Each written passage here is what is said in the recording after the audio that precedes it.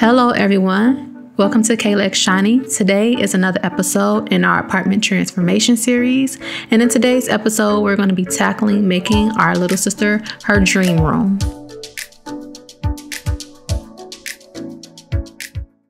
This is how the room looks. It's empty. We haven't even put the bed in. We just have put the dresser and some of her stuff in just to hold it, but we haven't started decorating anything as of yet.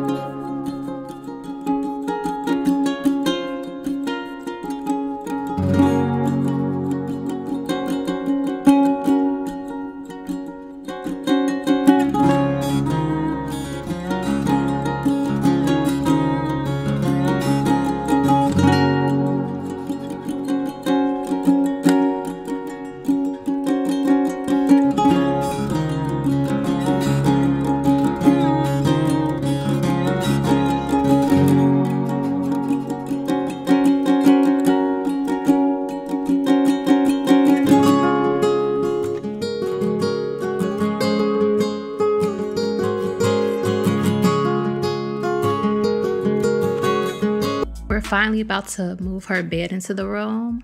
First, we had to, of course, lay the rug down on the floor and give it a good vacuum before we could set the bed frame and um, headboard up.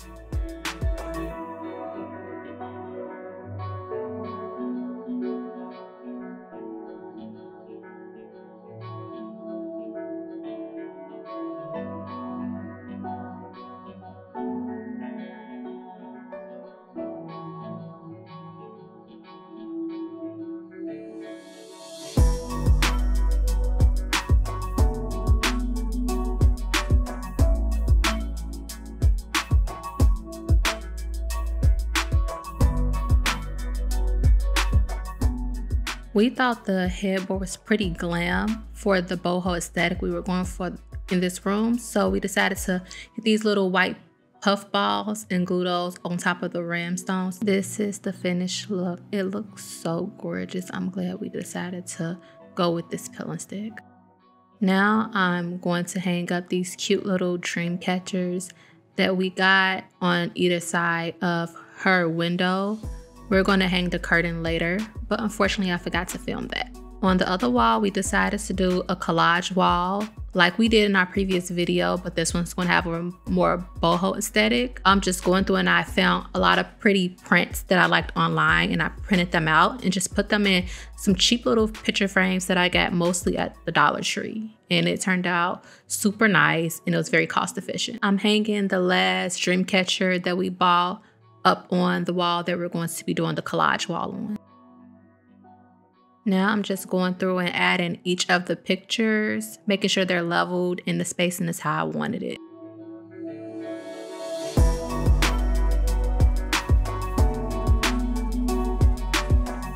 I decided to make these little floral bouquets to also add to that wall just to give it a little bit of extra.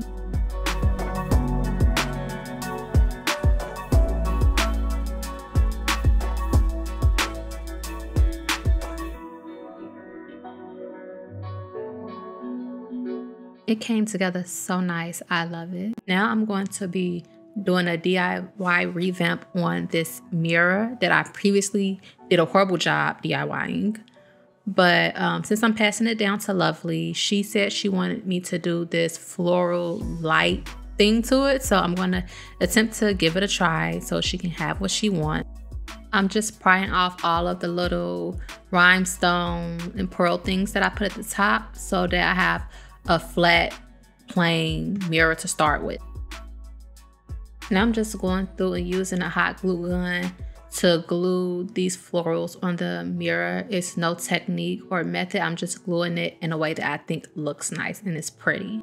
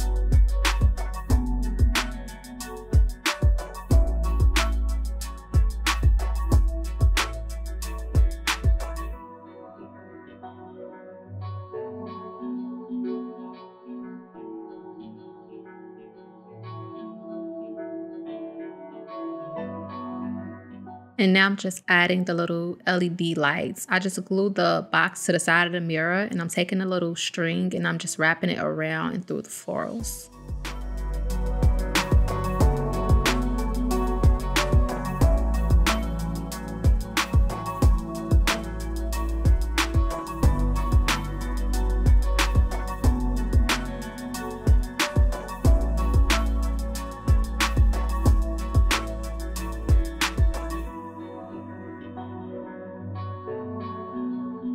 Here's the finished project. It looks so pretty, and I'm glad I decided to tackle it. And Lovely loved it.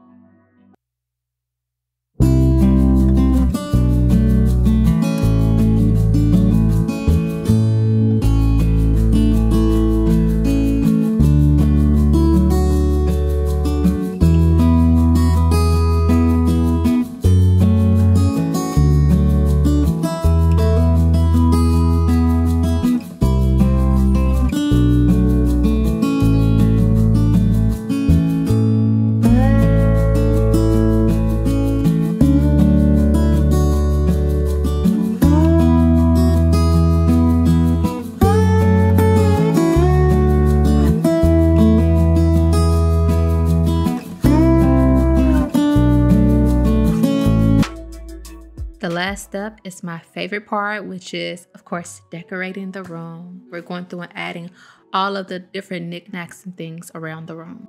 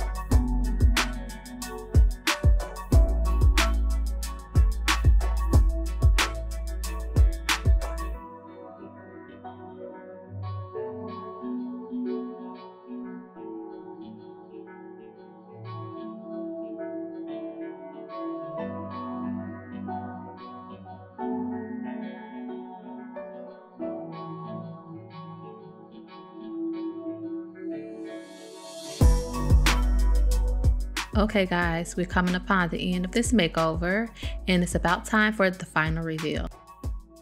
I love how this room turned out and more importantly, Lovely loved how it turned out. I'm glad we decided to choose the color palette we did and go for the thing that we did only because it was mature enough for a teenager but not too mature.